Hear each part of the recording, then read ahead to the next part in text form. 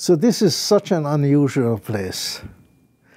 And you got here a mid-career scientist from Eastern Europe who was in absolute shock.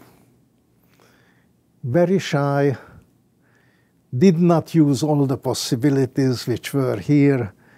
Yes, you could go and have lunch with anyone in the dining room, which is no longer dining room, but library.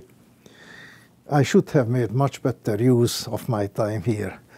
One uh, very interesting meeting was that on the same floor where we had our department, Theodosius Dobzhansky, or Feodosy Dobzhansky, there is an R in the Russian, Dobrzhansky, was the professor of the other half.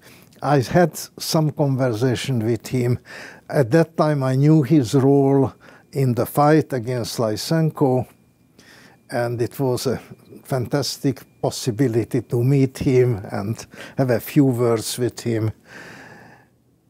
He is the person who translated Lysenko's little book, Heredity, and its variability into English just to show the English-speaking public what is in that book.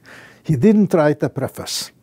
He didn't write any commentary to the book. He felt that just showing the book is enough to, for people to realize what's going on.